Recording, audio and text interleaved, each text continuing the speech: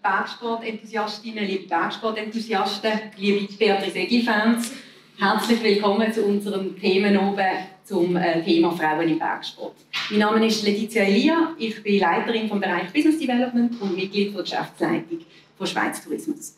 Bevor ich Ihnen einen kurzen Einblick in die äh, Kampagne gebe, 100% Women, möchte ich gerne mit ein paar Social Media Posts starten, geben. Marie-Jo et ma mère me parlent du 100% Women Peak Challenge et me disent qu'elles aimeraient bien y participer. 20 ans que Marie-Jo n'a pas fait de l'alpinisme. Eh bien, je lui, tire, je lui tire mon chapeau.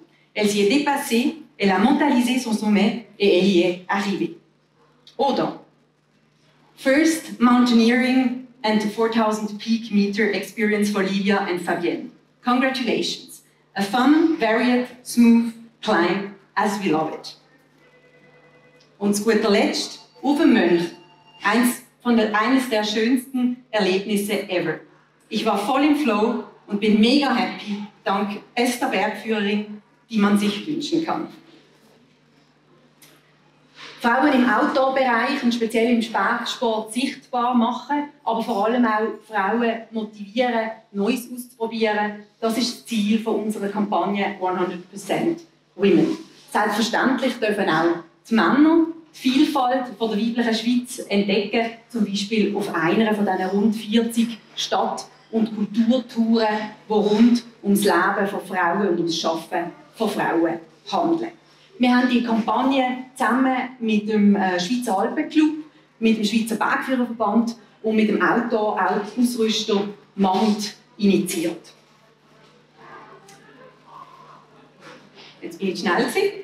Die Folie zeigt ähm, 350 Gipfel, Selfies, die repräsentativ für die Frauen stehen, die die Challenge angepackt haben und im Rahmen von der, äh, Women, von der 100% Women Peak Challenge einen Berg, einen 4000er, äh, ähm, bestiegen haben.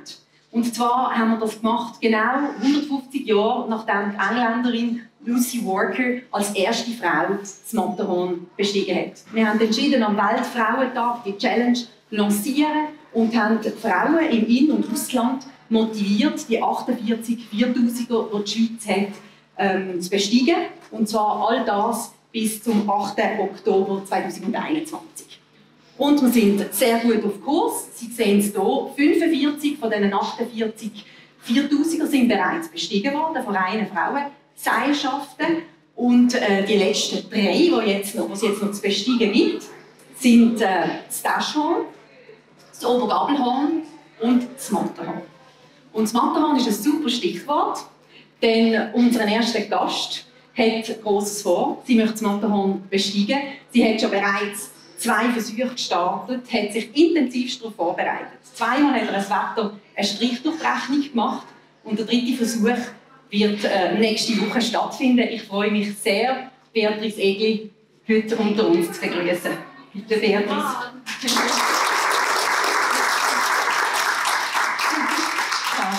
Ja. Was ist dir durch den Kopf gegangen, wo so kurzfristig die Tour hat müssen abgesagt werden auf dem Matterhorn? Ja, es war natürlich eine intensive Vorbereitung. Die Spannung war, sicher sehr, sehr hoch. Und, ähm, beim ersten Mal habe ich noch gefunden, okay, ist gut, habe ich ein mehr Zeit, kann ich mehr trainieren. Und das zweite Mal ist wirklich tatsächlich, wir sind alle parat, das ganze Team, gerade loslaufen auf die Hürdelhütte und dann einfach Susan angerufen, ist meine Werkführerin, sie so, Beatrice, wir können heute nicht auf. Und ich so, nein. Und die Challenge war jetzt tatsächlich, über die Woche jetzt nochmal die Spannung zu halten. Ähm, ich bin sehr viel jetzt unterwegs auf der Promotion Tour und äh, das Training auch weiterzumachen. Neben dem Intensiv, das ich sonst habe. Also jetzt ist der Wecker noch früher und äh, das Training natürlich aufrechterhalten. Aber es ist schon, wenn ich es dann so gesehen habe, wenn der Berg kommt, geht der Puls einfach rauf. Und ich sollte ja eigentlich den Puls ein bisschen runterbringen, weil er geht schon rauf, wenn ich nicht rauflaufe.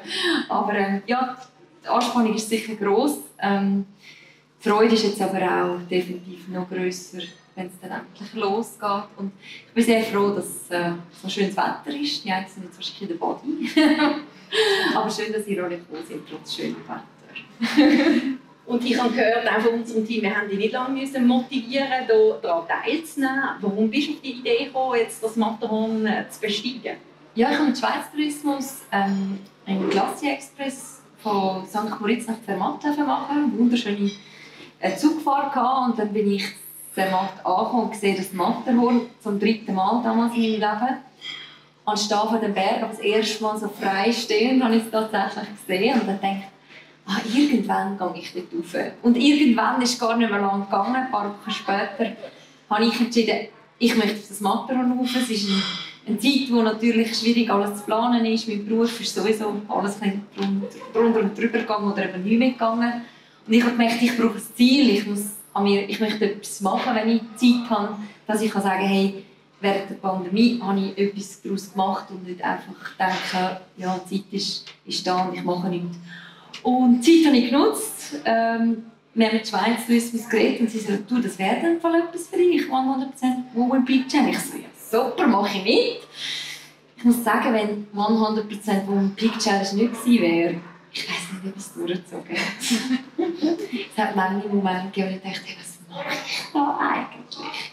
Es sind auch viele Ängste, die ich überwinden musste. Es sind viele Momente im Leben, wo ich denke, also einfach so meine, es klingt jetzt ein bisschen lustig. Wir haben nachher Leute, die den Berg kennen. Ich zum ersten Mal alles. 25 Meter Abseilen überhängend ist das Erste, was ich gemacht habe. Am Berg. Und ich dort schon Tränen Augen. Nein, nein, ich mache das alles nicht. Nein, nein, nein. Und ja, ein paar Wochen später, mit viel Training, mit Üben, mit dieser Angst überwinden, frage ich, wenn können wir abseilen, dann muss ich nicht nachlaufen. also, und das ist halt schon schön zu sehen, dass es ist ein bisschen wie im Leben. Du stehst vor dem Berg und denkst, nein, wie soll das gehen? Aber es ist wirklich Schritt für Schritt, Training für Training, Schweißperle für Schweißperle, habe ich gemerkt, ich komme in eine ganz neue Kraft. Und nicht nur körperlich, ja, es ist gewachsen, ja, die Richtigen, aber auch mental, wirklich. Ja. Und mental war jetzt die grösste Herausforderung für mich, gewesen, mit den Absagen umzugehen. Ja. Die Spannung zu halten mental. Aber ja. Das ist das Leben. Du hast äh, die Vorbereitung angesprochen, die war sicher sehr intensiv. Gewesen. Wir haben äh, noch ein bisschen äh, gesucht und haben spannendes Material gefunden, das wir hier können Oh ja, das ist der erste Dornschlucht, oder? Das ist das erste Mal mein Klettergestelltli. Schau wie ich schaue, was ist das? Und äh, ja, die ersten Übungen, das, was ich jetzt bisher noch nicht benutzt habe, lerne ich zu nutzen. Ich glaube, es wird heute noch so ein Blogger Aber vielleicht täuscht es auch.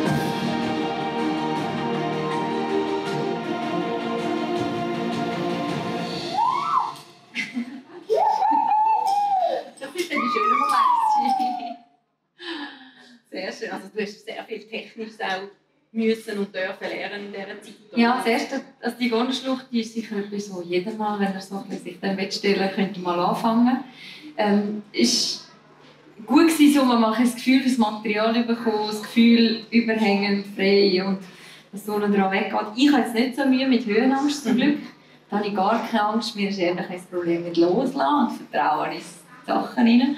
Ähm, und das muss ich sagen, das war so der erste Tag. Ich dachte, nachdem ich gedacht, okay, das geht. Aber es ist ja dann weitergegangen. Du hast es vorhin angesprochen, Angst überwinden. Ja. Wie hast du es gemacht? Oder was hat dir geholfen? Mm, zuerst mal zulassen, dass sie da ist, annehmen, dass sie da ist, Angst. Und, und dann, ja, es ist viel Kopfsache. Ich bin eine, ich mache alles, wie ich will. mein Wille ist sicher gross und äh, das hat sicher geholfen. Und dann aber auch sicher, was mir geholfen hat, ist Susan, ist meine Bergführerin, die mich schnell verstanden hat und schnell können lesen und gewusst, wie mit mir umzugehen, um eben die Schritte zu gehen. Sie hat natürlich nicht viel Zeit gehabt. Ich meine, normalerweise macht man sicher eine längere Vorbereitung. Ähm, in meinem Fall ein Jahr ist wenig für so einen Berg. Und bin aber froh, dass ich wirklich kann sagen es fühlt sich gut an. Und so, wir hatten auch Trainings am Anfang, wo sie entscheiden musste, ob ich das könnte oder nicht. Mir war es auch wichtig, wenn sie dann sagen du kannst das nicht. Und dann wäre es auch so gewesen. Ähm, aber in dem Moment, als sie gesagt hat, du kannst das, habe ich gewusst, okay, wenn sie das sagt. und du hast deine Angst überwunden. Du hast dann auch dein erstes hochalpine Erlebnis gehabt auf dem Riffelhorn, Ja. Auch da haben wir Material gefunden, das wir gerne teilen möchten. Ich muss sagen, dieses Riffelhorn, da steckt schon was drin. Ich jetzt nicht gedacht. Das sieht so anders aus, aber es ist tatsächlich eine große Challenge.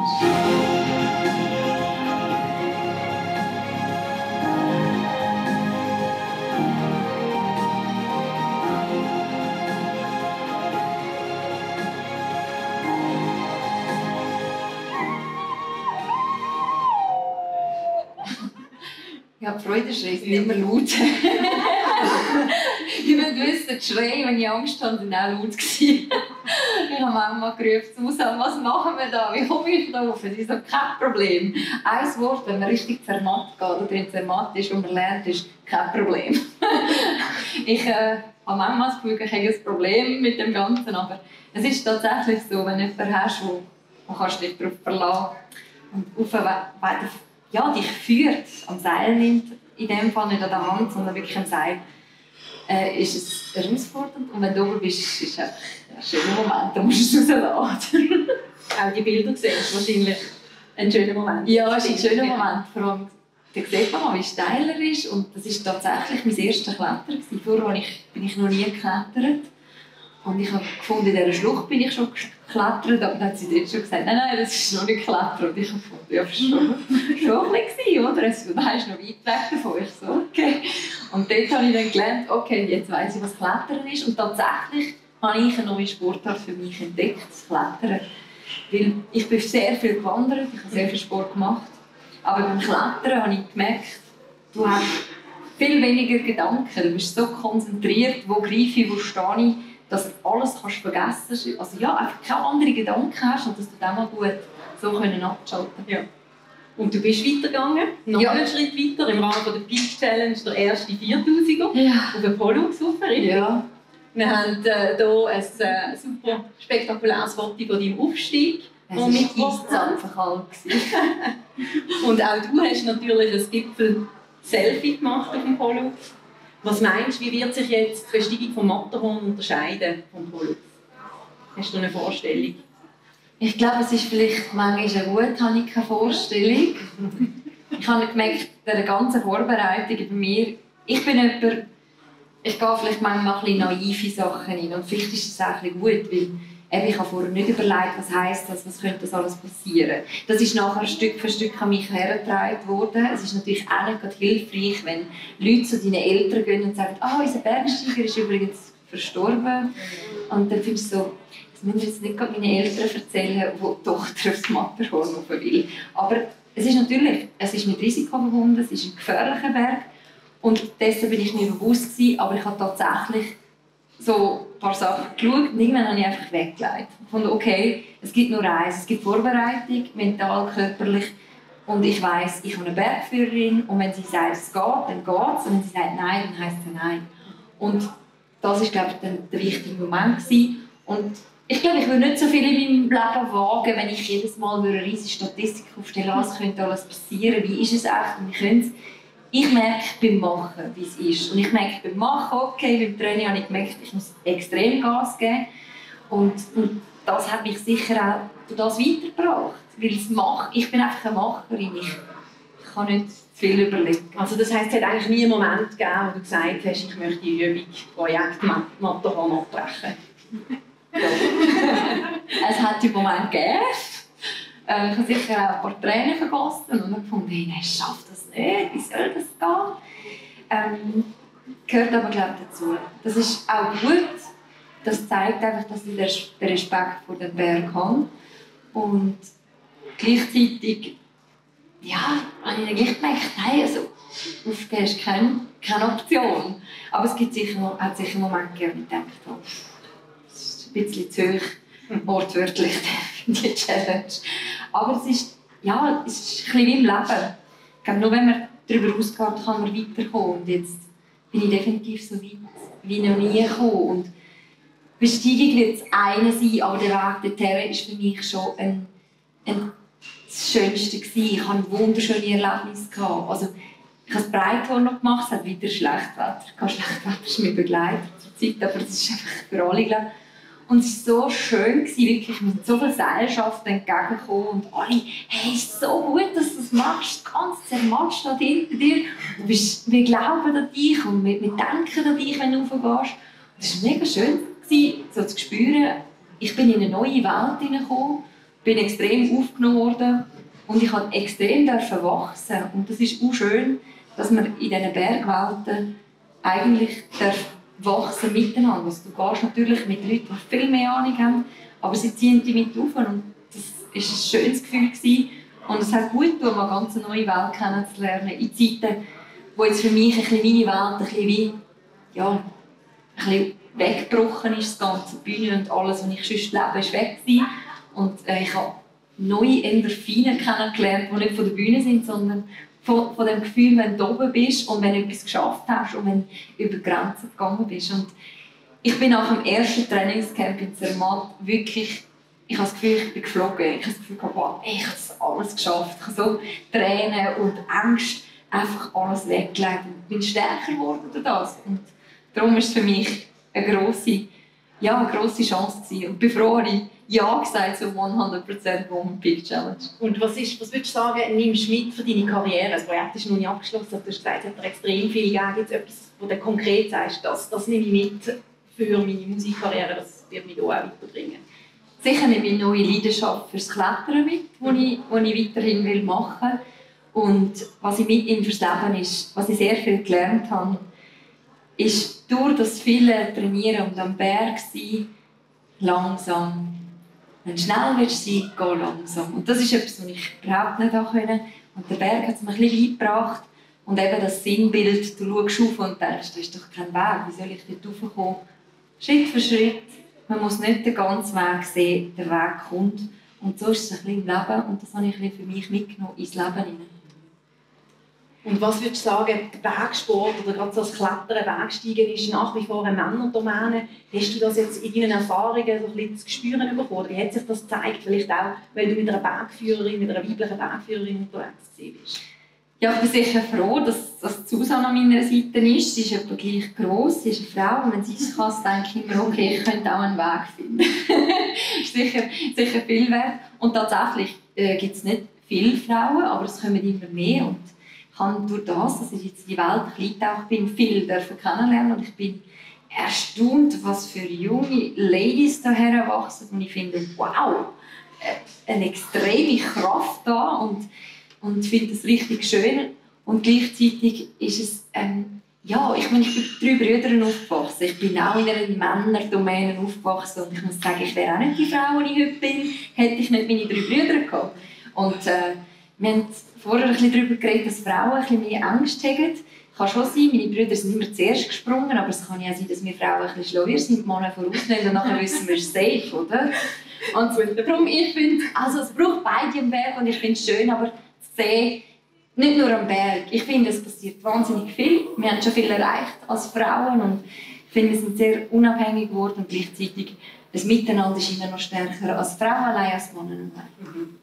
Sehr schön. Danke vielmals, Beatrice, dass du die Reise mit uns geteilt hast. Ich freue mich, dich noch weiter zu verfolgen und zu erfahren, ja. was nächste Woche passiert. Und äh, sehen, wie du das Matterhorn bestimmst. Und ich würde jetzt gerne den Moment ähm, nutzen, um das Podium zu öffnen und unsere drei weiteren Gäste nach vorne beten.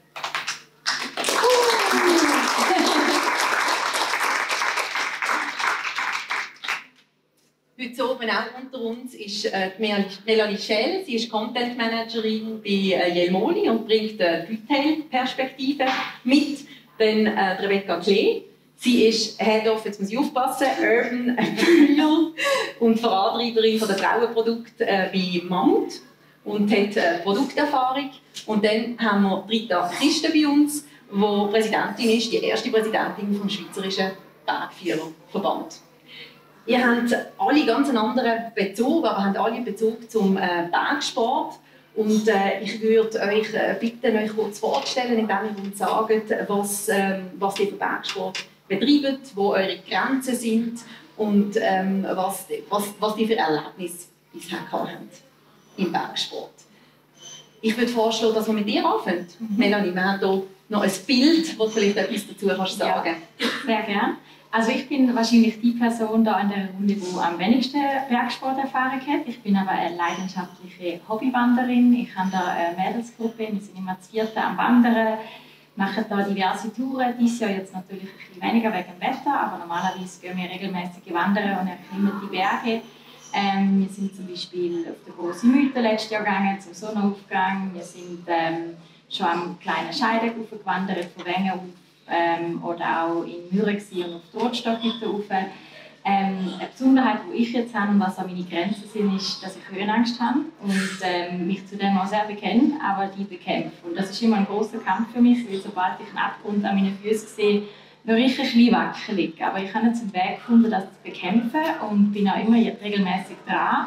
Fachpersonen erkennen das am Berg, wenn die mich sehen, weil ich natürlich manchmal ein bisschen verstieft bin und ähm, ja, das Bild ähm, spricht eigentlich für meinen mein ein, einen Kampf, den ich mal hatte. Das war auf einer Gratwanderung auf dem Augstmatterhorn. Ähm, dort habe ich nicht gewusst, auf was ich mich einlade. Ich bin einfach mit. bin da Berg rauf, habe gedacht, ja, ja, wie immer, mache ich. Und komme da oben an und sehe, der Weg ist einfach nur noch ein Grat. Und ich habe Panik bekommen, ich habe nicht gewusst, wo hin. Ähm, ich habe nicht gewusst, bin ich der, wie ich jetzt die Wanderung weitermache. Und habe aber ganz, ganz tolle Kolleginnen gehabt, die mir da Kraft gegeben haben und ähm, ja, wo ich letztendlich sogar ein bisschen können rennen auf dem Rad. Also solange ich ja, die, äh, die Angst bekämpft habe. Dankeschön vielmals fürs Teilen. Rebecca, wie ist deine Verbindung zum, äh, zum Bergsport? Wir haben auch von dir ein Bild dabei. Uiuiui. Ui, ui. Letztes Wochenende, also grundsätzlich habe ich ja natürlich äh, die große Ehre, in der Branche zu arbeiten, ähm, was für mich schon irgendwie der, der ideale Ausgangspunkt immer ist, weil bei Mammut leben wir Outdoor, äh, von daher eigentlich perfekt. Äh, für mich privat, also ich bin auch leidenschaftliche Wanderin, ich finde das ist ein großartiger Sport, einfach draußen zu sein und ich suche aber schon gerne diese Herausforderung, deswegen kann ich das mit Klettern so teilen. Ähm, nicht zu denken, einfach um sich nur darauf zu konzentrieren, da diese Wand hochzukommen das vom letzten Wochenende, ja, da spielt dann das Wetter mit. Geplant war eigentlich Klettern. Die Wand war dann so nass, dass wir gesagt haben, ja, dann lass uns doch eine Wanderung am Grat oben machen. Äh, also sind wir mit voller Kletterausrüstung einmal den Grat entlang gegangen und dann wieder zurück. Äh, war eine super Erfahrung. Dankeschön. Rita, du bist sicher die erfahrenste am Berg unter uns heute oben. Hat es einen Moment gegeben, wo du auch hast müssen, deine Grenzen überwinden Oder ist das für dich immer einfach natürlich und selbstverständlich sein.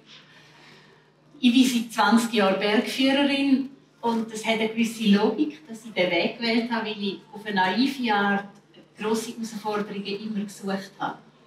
Also untypisch vielleicht für eine junge Frau hat es nicht können, waghalsig genug sein. Ich habe das lange in anderen Bereichen ausgelebt, mit Reisen, an komische Orte hinreisen und so.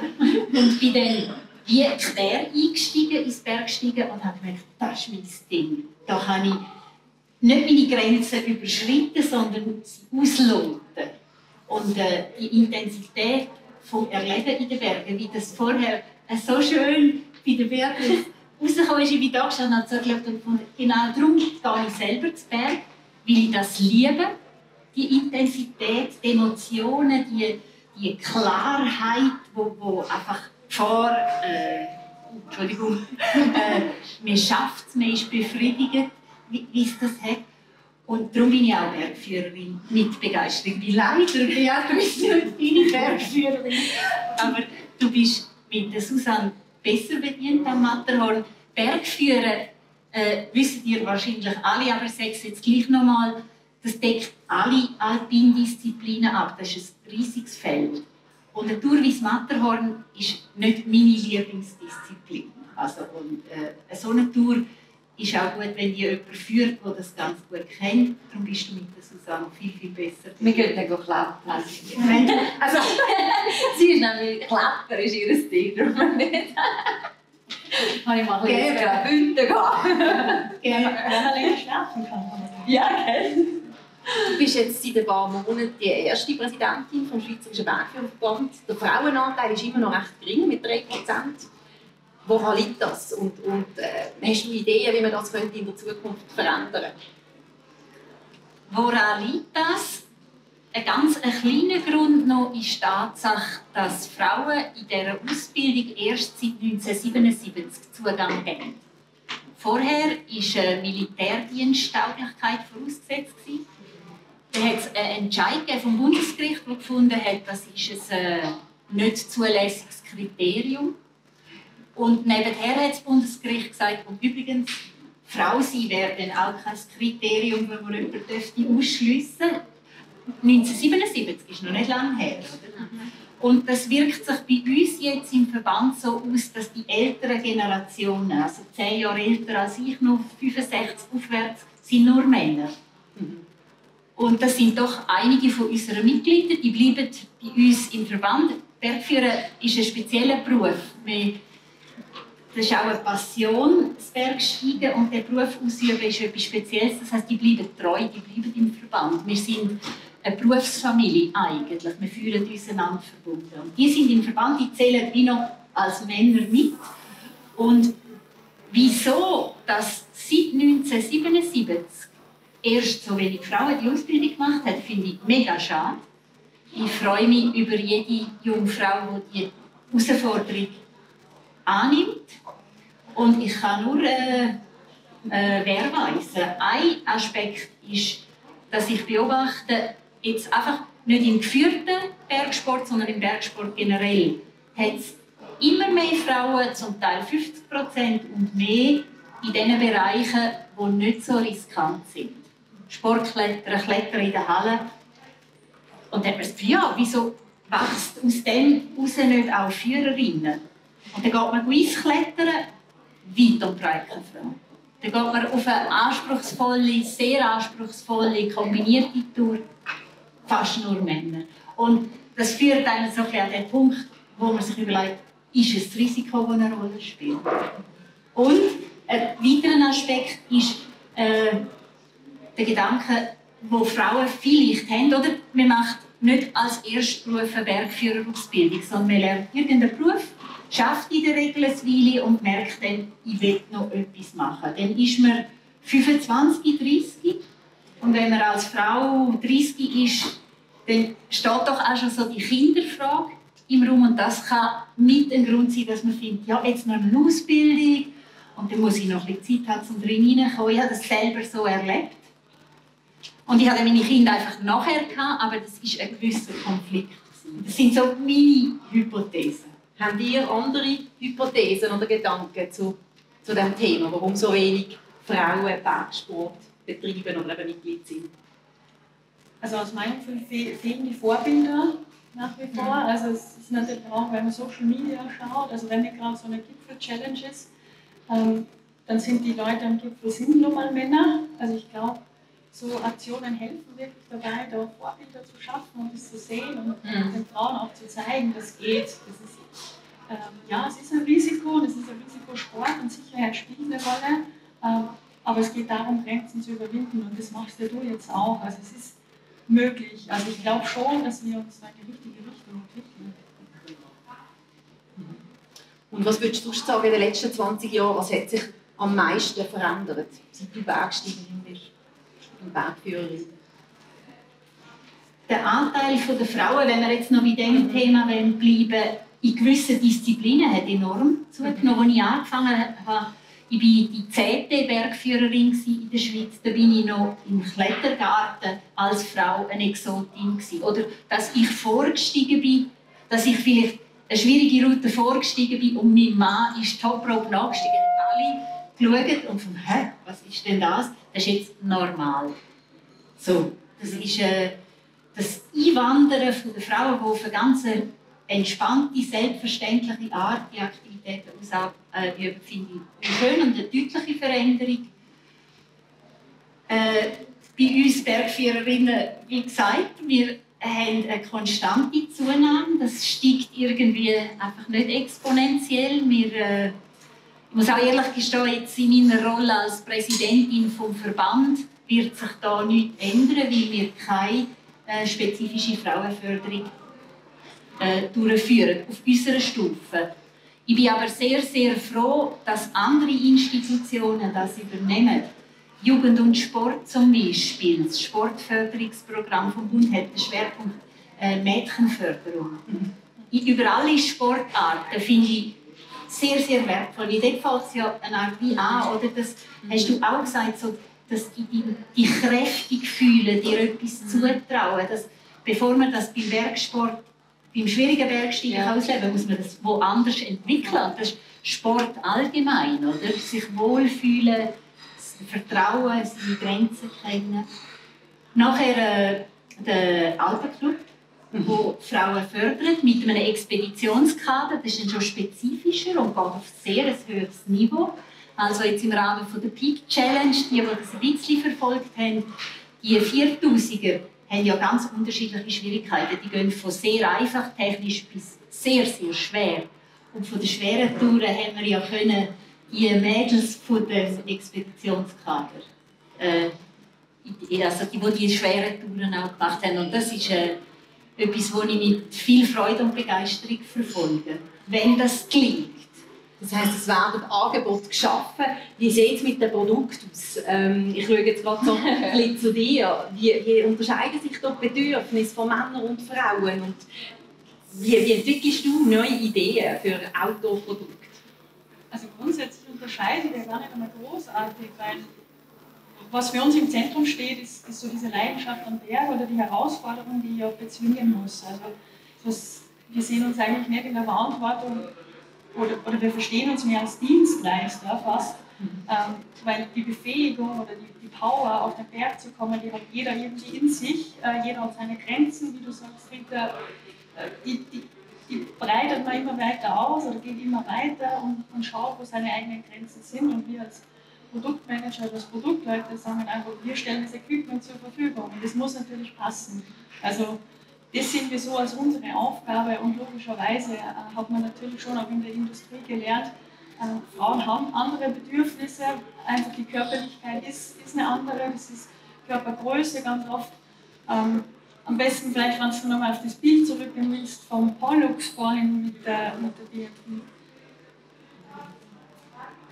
Genau, also. Ich das wollen. Ah, okay. Ähm, da sieht man es eigentlich ganz gut be bekleidungstechnisch oder so, es muss natürlich passen, der Fit muss passen, aber was ganz, ganz entscheidend wird für uns, äh, wenn man den Rucksack anschaut und, und, hast du vielleicht auch deine Erfahrung nach Beatrice, der ist natürlich für Frauen tendenziell ein bisschen kürzer, hat andere Schulterriemen. Ja. Wenn du entsprechend Gewicht mit hast, muss das einfach für dich passen. Oder auch beim Klettergurt, wir haben andere, Verhält andere Verhältnisse, einen anderen Abstand von Oberschenkel zur, zur Hüfte und und das sind Dinge, die wir berücksichtigen. Aber ansonsten ist für uns kein Unterschied, ob jetzt Männer oder Frauen auf die Berge wollen, äh, weil die Leidenschaft, die Herausforderung, das Grenzenüberwinden ist für uns alle gleich. Aber ist es für dich auch ein besonders persönliches Anliegen in Richtung äh, Produkt, eben ganz spezifisch für Frauen, etwas zu entwickeln? Definitiv. Also es ist mir persönlich wirklich ein Anliegen, weil ich meine, Vielleicht habt ihr gehört von dem Begriff Peak It and Shrink It. Das war so immer so dieser Klassiker, egal ob in der Sportswear, Mode oder im Outdoor-Bereich, dass man einfach das Männerprodukt genommen hat und es einfach eine Spur kleiner gemacht hat und dann vielleicht noch schön angemalt hat. Ähm, das war dann die Frauenversion davon. Ähm, und das ist, macht natürlich absolut keinen Sinn. Also das ist ja, ob man jetzt Bild mag oder nicht, sei dahingestellt. Das ist was äh, persönliche Vorliebe. Mag man oder, oder mag man nicht, aber es muss einfach auf die Bedürfnisse abgestimmt sein. natürlich gibt es gewisse Durchschnitte, gewisse Erfahrungswerte. Äh, es gibt auch kleine Männer, also wir empfehlen die Rucksäcke auch für kleinere Männer. Also es hat jetzt nicht unbedingt was mit, mit dem Gendern zu tun, aber für mich persönlich ist das einfach ein unglaublich wichtiges Thema, weil ich einfach finde, wir müssen äh, die Frauen unterstützen, diesen Sport ausüben zu können mit der richtigen Ausrüstung. Wie gesagt, wir müssen sie nicht befähigen, sie können das alles sehr, sehr gut ähm, die, die Power ist da. Äh, und wenn du das richtige Equipment hast und lernst damit umzugehen, ja. steht dem eigentlich nichts mehr im Weg. Rita, gibt es etwas, was du vor 20 Jahren vermisst hast, wo du würdest sagen, wenn es das damals gegeben hat, das hat mir geholfen? Jetzt gerade am Produkt denken. Ich würde sagen, ich habe recht gravierende Nachteile gehabt, dass es noch keine frauenspezifischen Produkte gegeben hat. Aber eben auch darum, wie du gesagt hast, ich bin nicht nur eine Frau, ich bin auch klein und nicht so super kräftig, oder? Und ich habe die zu langen Rucksäcke getragen, ich habe keine Schuhe. Im High-End-Bereich äh, hat es einfach in meiner Größe nicht gegeben. Das heisst, äh, Skitourenschuhe und äh, schwere Bergschuhe habe ich zu gross kaufen, um mit Socken auspolstern. Ist eher ist noch gar nicht so lange her, oder? Gut 20 Jahre. Es hat noch keine frauenspezifische Kleider gegeben. Man hat einfach Männerkleider habe ich angelegt zum Teil sind halt lang. Das war mir Wurst, sozusagen, Kleider. Aber beim technischen Material, ich weiß noch genau, der Eiskletterpickel für Steileiskletter hat es einfach das eine Männermodell gegeben. Und das war riesig und schwer für mich. Und ich habe mich da abgemüht mit diesen schweren Dingen. Und jetzt staune ich und genieße es natürlich, ja. wie, wie, spezifisch und differenziert das alles auf dem Markt ist. Wir haben hier ein Bild äh, von dir, Beatrice, mit der Ausstattung. Die ist von Mammut. Vielleicht magst du noch, Rebecca, kurz etwas dazu sagen. Ähm, eigentlich dasselbe wie vorhin, also es ist aus unserer eigenen Kollektion. Äh, und da einfach die Frauenversion und gerade gerade wenn es um Bekleidung geht, da geht es einfach um, um Fitverhältnisse, vor allem bei der Hose. Also auch da wieder, wir haben andere Maße als mhm. Männer und da gerade, also gerade Männerhosen sind oft meistens nicht nur zu lang, sondern da einfach auch äh, zu eng äh, im Verhältnis. Das ist einfach körperlich so und, und, darauf achten wir einfach. Oder auch, es sitzt hinten höher im Vergleich zu Männern. Also das ist, sind wirklich einfach so Dinge. Ich liebe diese, ich liebe die Klett.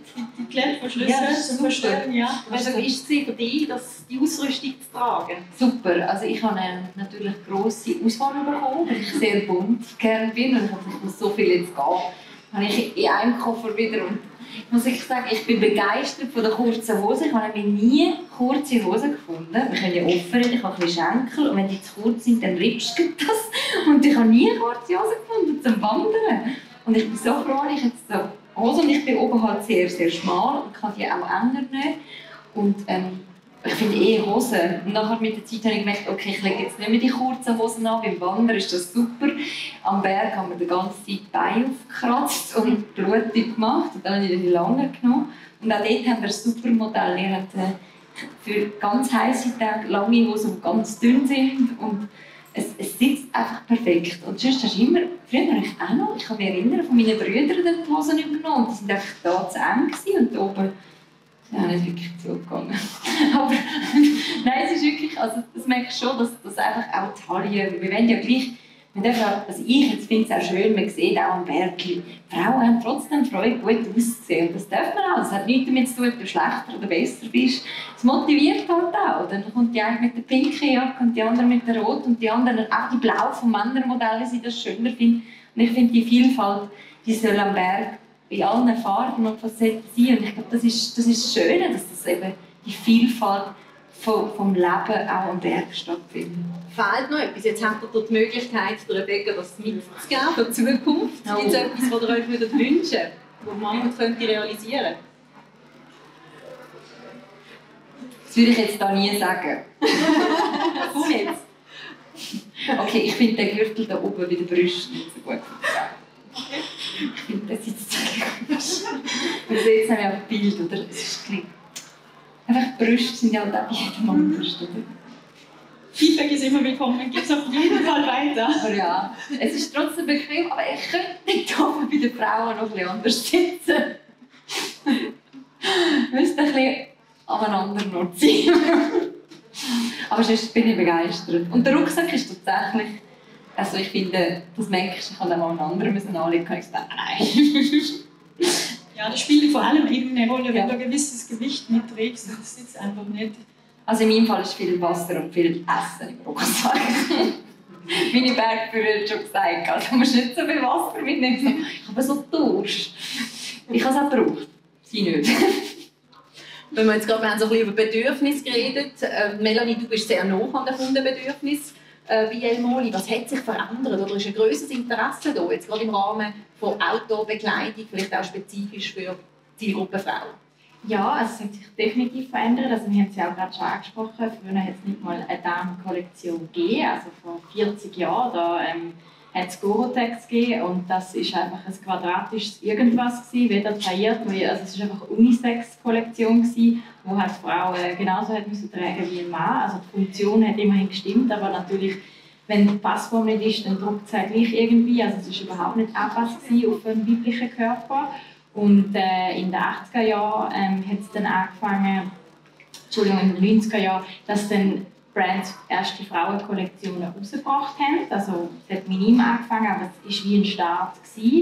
Ähm, heutzutage ist es so, dass es wirklich gleichberechtigt ist. Also wir haben sowohl Männer- als auch Frauenkollektionen, ähm, was auch rege genutzt wird, was auch geschätzt wird und was uns auch wichtig ist, weil ähm, wir wollen ja genauso eine Frau bedienen wie auch ein Mann und ähm, bei einer Frau kommt es wirklich darauf an, dass der Schnitt femininer ist, dass ähm, da auch eine andere Farb- und Designsprache vorhanden ist. Aber was man auf alle Fälle generell kann sagen ist, dass eine Frau genauso auf Funktion achtet wie ein Mann. Also es ist nicht so, dass eine Frau nur gut aussieht, sondern sie setzt eigentlich die Funktion als Grundvoraussetzung aus. Und äh, da geht sie davon aus, dass das auch stimmt. Und eben uns ist es auch mega wichtig, dass es gut passt. Wir haben super Verkaufspersonal, die sind regelmäßig geschult und können dann auch wirklich diese Schuhe empfehlen. Also Frauen haben ja gerne mal schmalere Füße und da achtet unser Verkaufspersonal wirklich darauf, dass das richtig empfohlen wird, damit es da auch keine unschönen Blasen gibt am Berg, dass es auch wirklich gut äh, angepasst ist. Genau.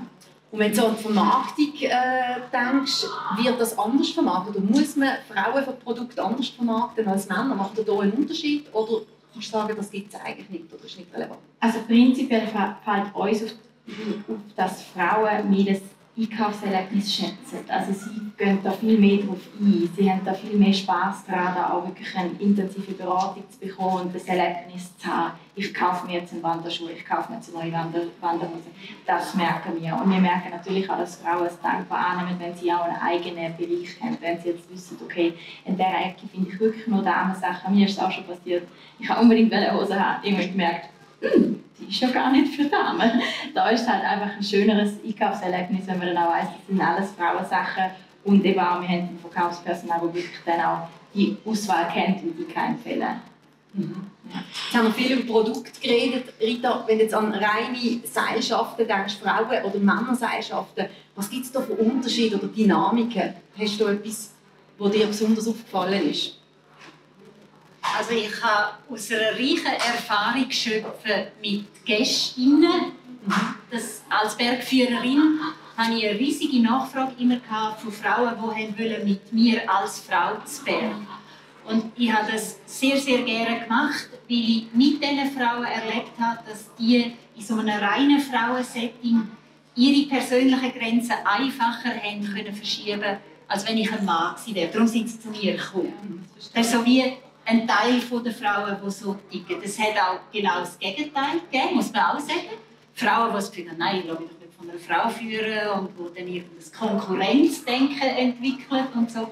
Es ist wie vielfältig, aber insgesamt habe ich erlebt, dass es unter Frauen äh, Atmosphäre in der Regel sich ergibt, die sehr förderlich ist, dass die Einzelnen sich gut entfalten können wo wenn gemischte Verhältnisse sind, tendenziell die Frauen äh, einen Schritt zurückstehen und die Männer lassen vorgehen. Und meine Rolle dann immer so ein bisschen undankbar ist und so muss eingreifen und die Frauen schieben und die Männer bremsen. Und in Reinen, wenn ich Männer führe, äh, kann es durchaus sein, dass ich so ein bisschen den Chef markieren muss. Das ist tatsächlich so, dass genau.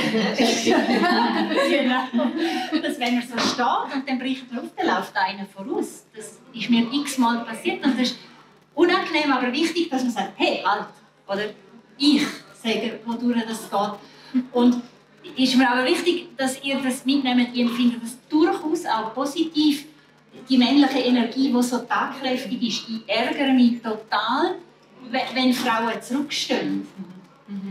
Ihr nickt, können Sie das bestätigen? Oder? Voll. Also, ich glaube, das ist, ist, ist etwas Schönes in dieser 100% Challenge zu spüren, wenn wir nämlich untereinander sind. Es gibt eine, eine extreme Dynamik und gleichzeitig eben auch, ich sage nein, ich habe drei Brüder, die immer voraus sind. Irgendwann habe ich auch voraus und gehe auch. Die, die treiben, also mich hat es jetzt eher antreiben, wenn ein Mann geht, kann ich auch. So, aber es gibt dann immer wieder, ja, wenn er es kommt, kann ich es vielleicht nicht, ich bin als eine Frau. Das ist sicher auch eine Erziehungssache bei uns. Ich habe gleiche Kleider bekommen, ich habe alles gleiche bekommen wie die Buben. Und durch das habe ich immer das Gefühl, ich kann gleich mitheben. Was sicher gut war jetzt im Nachhinein. Und äh, sehe aber viele von meinen in meinem Umfeld, dass man sich gerne zurücknimmt, weil man denkt, ja, das könnte ja besser. Mhm. Aber es, ist nicht, es gibt nicht besser oder schlechter. Es ist klar, wir sind anders, wir sind Frauen, das sollen wir auch dazu stehen. Aber äh, ich kenne das, wenn sich die Frauen zurücknehmen, dann finde ich, nein, führen, los, zeigen. Und das ist ja schön, wenn du dann aber dann nicht siehst, wo so Frauen hast, wo du wirklich sagst, wow, super, voraus. Darum ist es gut, dass es so eine Frau gibt sie. Ja. Genau. Und so zurück zu der äh, Peak Challenge. Du hast auch noch etwas vor dir. Du machst äh, den Berliner, wo äh, du wirst besteigen. Warum der Biz Berliner? Äh, ich lebe in Graubünden. Ich bin nicht Bündnerin äh, von Geburt, aber ich lebe seit 30 Jahren bald dort. Und der Berliner ist der einzige Bündner 4000. Der steht ja so ganz einsam, weit im Osten, während alle anderen im Wallis sind. Das war logisch für mich. Und äh, ich begleite eine Bündner Politikerin, Nationalrätin Sandra Locher. Und auch für sie äh, ist es natürlich ein besonderer Berg, unserer 4000. Und dann ist er noch eine super schöne Tour. Vielfältig und so. genau. Schön. Genau. So, jetzt möchte ich aber auch Ihnen im Publikum die Möglichkeit geben, noch äh, Fragen zu stellen an unser Podium, an unsere Gäste. Und äh, damit Sie noch ein bisschen Zeit haben zum Überlegen, gibt es zwei Fragen, die bei uns äh, bei Schweiz Tourismus äh, eingetroffen sind. Und geht an die Rita. Gibt es Plattformen, wo äh, Bergführerinnen und Bergführer bewertet werden? Wo man sich kann darüber informieren kann? Gibt es das? Kenne ich keine. Kennst du keine? Nein, kenne ich Das wäre keine. etwas, was man sicher mal könnte für die Zukunft überlegen Es gibt eine Plattform, wo man sich kann vergewissern kann, ob man effektiv einen Bergführer, Bergführerin mit einer richtigen Ausbildung hat. Der Beruf ist gesetzlich geregelt. Es gibt seit äh, gar noch nicht so langer Zeit, im Nachgang zum Sachsenbach-Unfall, hat man das äh, geregelt auf Bundesebene. Und es gibt ein Register, wo wir alle mit abgeschlossener Ausbildung eingetragen sind. Weil es doch auch einen gewissen äh, Wildwuchs gibt mit Leuten, die sich anmassen, Führungen zu machen ohne Ausbildung. Das Problem, das wir als Verband bekämpfen, logischerweise. Und als Nutzer kann man auf der Webseite vom Baspo einfach schauen, der Mensch, der da die Tour anbietet und mich will führen hat der wirklich die Kompetenz. Und dann eine andere Frage, die alle brennend interessiert, Beatrice, die bei uns eingeht, ist, wird es einen Song geben über deine Erfahrungen? Ja, ja mehr sein. Tatsächlich kommt am 27. August mein neues Album raus. Ich habe 16 neue Songs geschrieben in dieser Zeit vom Training in diesem Jahr. Und einer davon heisst tatsächlich Matterhorn, der Song. Und ist geschrieben mit dem Dodo zusammen. Und äh, einer heisst Power und der ist tatsächlich geschrieben für Frauen. Dort gibt es eine Textzeile, die drin ist, sei die, die alles schafft. Und äh, speziell für Frauen nur geschrieben. Und äh, ja, es war sehr inspirierend. Gewesen. Natürlich habe ich mir eigentlich selber Songs geschrieben, um mich zu motivieren. Ich höre es schon ein länger und am 27. August darf ich die dann auch allen weiterschenken. Sie sind sehr motivierend, sie sind auch tiefgründig, aber es, hat sicher so fünf, sechs Songs, wo ich sagen würde, hätte ich glaube vor dieser 100% Home Peak Challenge nicht können komponieren oder singen, weil ich es nie so gefühlt hat wie jetzt. Super, wir freuen uns sehr. Und jetzt möchte ich Ihnen die Möglichkeit geben, Fragen zu stellen. Es ist äh, jemand unterwegs, auch mit einem Mikrofon.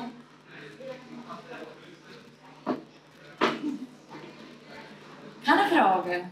Sind alle so ein bisschen scheu? Also ich habe mal neun Fragen. Also nicht Fragen, aber alle Ja, vorher hat sie die letzte noch gestellt. wegen dem Song. Gut, Tracklist haben wir schon gesehen, oder? Ja, ja. Matterhorn. Ja, ja. Nein, ich habe nur noch eine, die Rest ist leider Ja, dann. Willigen, feel free. Äh, Ja, ja, ja, wir haben alle gehört. Hallo. Äh, der Rucksack, den man mitnimmt, ist ja beschränkt auf eine gewisse Größe, nicht auf ein gewisses Gewicht. Und wenn man dich ja so kennt, möchtest du am liebsten dann den ganzen Kleiderschrank mitnehmen.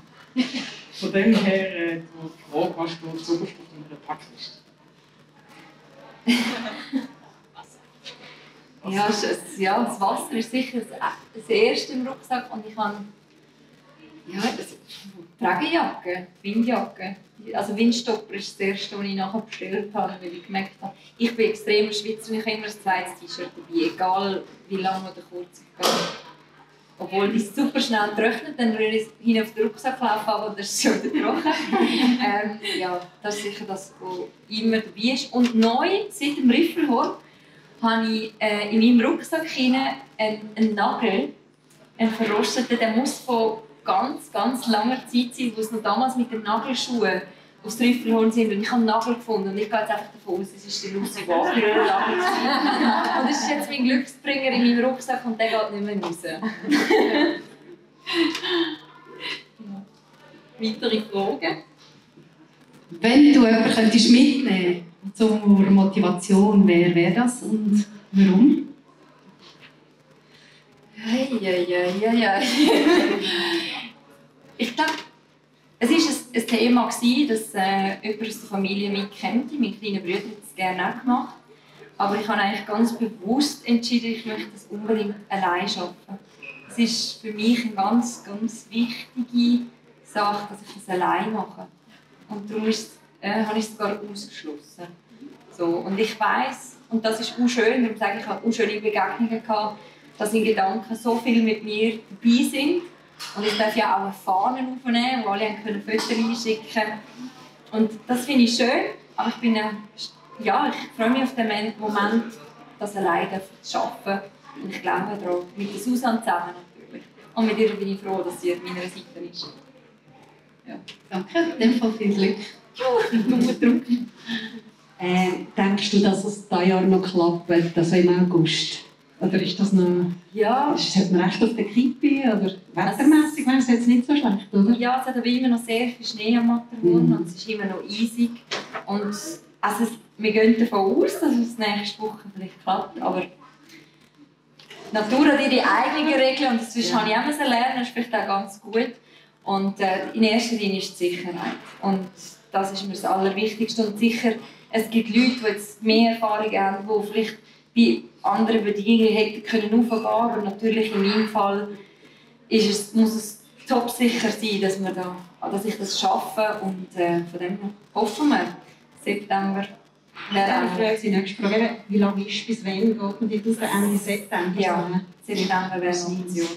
Aber wenn ihr meinen Terminkalender kennt, ist auch wieder los. Kommt darauf an, was mit der Tour ist. Ja, genau. Ja, eins nach dem anderen. Schritt für Schritt habe ich gelernt am Weg. Und noch kurz äh, der Auf- und der Abstieg, alles in allem stundenmässig. Was ist das so? Acht Stunden? Vier und vier etwa? Also, ich sage aber keine Zeit und ich will mir auch keine Zeit, ja, ja. weil ich weiss, der, der neue Rekord ist ja vom Dorf unten Rauf aufs Matron und runter ist 3,59.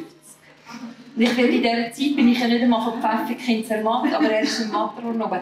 Ich denke, ich werde sehr langsam gehen. Aber ähm, mein Ziel ist ja nicht, eine Zeit aufzustellen, sondern nur zu arbeiten. Und ich bereite mich auf, auf 12 Stunden vor, mental, und wenn es weniger wird, umso leichter. Die andere Frage dazu, wie geht man da du jetzt aufs WC sagst du? Erste Frage von mir auch sein. ja, wir müssen schnell aufs ja. WC, wir Frauen, gell? Ja, äh, tatsächlich äh, ist das jetzt... Man muss einfach brennen, durchziehen, das ist es genau. Ich bin tatsächlich bei der ersten so, zum Polo da haben wir über einen Gletscher und mich so 15 Meter lang Seil und im Winter, also im Winter, es war Mai, es war alles weiß und ich da hinterher. Ich dachte, warum haben wir da 15 Meter Seil? Also ich meine, wir könnten da laufen. Auf jeden Fall habe ich gesagt, du Susan, ich muss wirklich dringend das WC. so, nein, du musst jetzt das WC. Ich so, es läuft. Ich muss wirklich das WC. Und dann haben wir laufen, laufen, laufen, laufen. Und irgendwann sagt sie, dort hättest du nicht das WC. Sie hat die Möglichkeit bestanden, dass einfach 100, also 20, 30 Meter in einen Gletscherspalt gekriegt wärst. Das Problem gibt es am Matterhorn nicht, aber tatsächlich äh, ist das etwas ganz Natürliches. Und ich hoffe einfach, ich kann vorher. Ja, aber die kein WC. Nicht alles diskutieren. ja, aber es ist einfach unkompliziert. Ja, unkompliziert. Je nachdem, was die technischen Schwierigkeiten am Fahren sind, kann man sich so ein bisschen entfernen ja. und hat ein bisschen äh, Diskretion oder auch nicht. Also das mhm. ist sicher einer der eher unangenehmeren Aspekte. Ja. Dann es Männer einfacher. Immer schon. Weitere Fragen? Ich habe noch eine Frage, und zwar, wie ist es eigentlich mit dem Schnaufen in der Luft? Oder, oder also, ist irgendwie ab einer gewissen Grenze, Grenze muss man ein bisschen mehr schnaufen oder mehr, mehr trainieren? Oder? Ja, das ist es so, oder? In der Höhe mit der geringeren äh, Dichte an Sauerstoff muss man verhältnismäßig mehr atmen und äh, das fällt einem, wenn man untrainiert ist, schwer. Die Höhe spürt man wirklich. Es ist ein bisschen individuell, wo es anfängt. Bei mir persönlich ist es 3000 Meter. Dann merke ich, aha, jetzt bin ich drüber, dann äh, muss man so ein bisschen mehr investieren oder ein bisschen langsamer gehen. Und an das kann man sich aber angewöhnen, also eine gute Akklimatisation machen. Und lustigerweise hat Leandus uns in der Vorbereitung erzählt, sie geht jetzt und spielt ein Konzert, aber sie nimmt ein äh, Zelt mit, um die Verhältnisse in der Höhe zu simulieren, dass sie sich in Bonn kann angewöhnen, ihren Körper kann angewöhnen an Verhältnis, das sie nachher am Berg hat. Ich bin sehr gespannt, wenn ich im Sauerstoffzelt schlöfele. Weil bei mir war es wirklich so, gewesen, ich habe ab 3000 fängt es bei mir an und ich komme so ein bisschen, ähm, der erste Tag ist ein bisschen unangenehm, Kopfweh und ein bisschen, hm. Darum akklimatisieren ist sicher wichtig. Aber dann ist, die Luft wird schon dünn. Für mich wird es langsam gehen. Es ist nicht die Frage, man raufgekommen ist. Das interessiert niemanden. Das war oben. genau. Nicht nur hier oben. Das habe ich, wenn ich mich mental auch darauf vorbereite. Der Abstieg ist dort. Wenn die Spannung loslässt oben, bist du erst vom Berg, wenn du unten bist. Und das ist für mich nämlich auch, ich finde den Abstieg, der macht mir am meisten schlaflose Gedanken. Weitere Fragen aus dem Publikum? Also ich habe eine Frage wegen der Höhenangst. Was war der erste Schritt, um die zu bekämpfen? Ähm, also das war genau die Situation, gewesen, wo ich eigentlich den Berg hochgelaufen bin und gar nicht wusste, auf was ich mich da einlasse, auf eine Gratwanderung. Und ich habe einfach Panik bekommen und ich hatte zum Glück eine Yoga-Lehrerin dabei, gehabt, die hat mit Atemtechnik mich können beruhigen Sie hat einfach gesagt, jetzt schnuff ganz tief durch. Mehrmals hat mir auch ähm, die Hand an den Rücken gelegt, was mich extrem beruhigt hat. Und ähm, als wir uns dann weiter bewegt haben und weitergewandert sind, habe ich einfach dann ein Stöckchen bekommen, wo ich wieder dran gelaufen bin. Und das hat mir auch ganz viel Sicherheit gegeben. Ja. Und jetzt, bis heute äh, schaffe ich mit Atemtechnik. Und sage mir auch selber, I can do it, I can do it. Ich bin stark. Okay. Ja.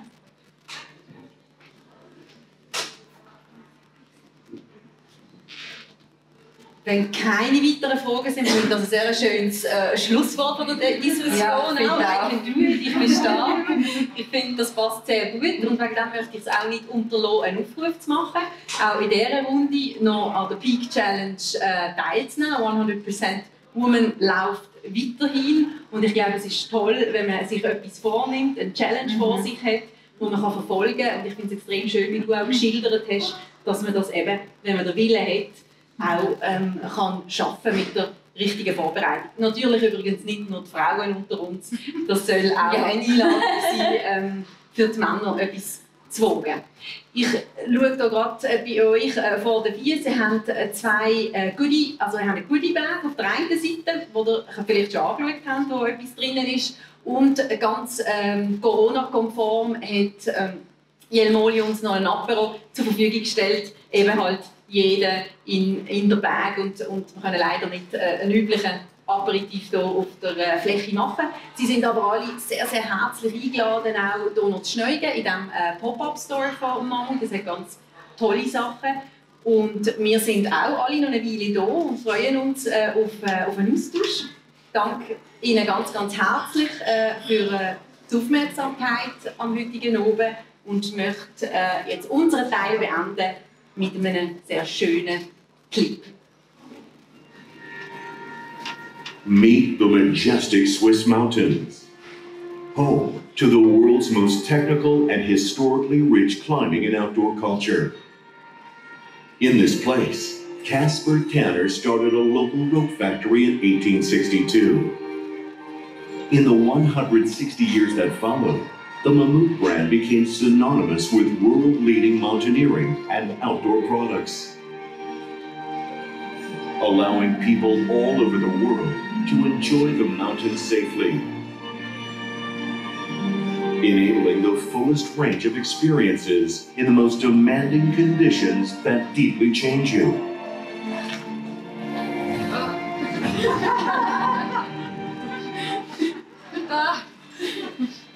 Each adventure, we allow the world's leading professionals, extreme athletes, and everyday explorers to enjoy the mountain safely. We consistently bring the most innovative products, made to spend unforgettable moments out in the open, made to conquer what was deemed inaccessible, made to protect our beautiful but melting glaciers. We take meaningful actions to preserve these natural wonders for the generations to come. Whether it be the exhilaration, the pleasure of a picturesque hike, or the appreciation of riding down a steep face, these experiences deepen connections to ourselves, others, and the natural world. Join us to create a world moved by mountains.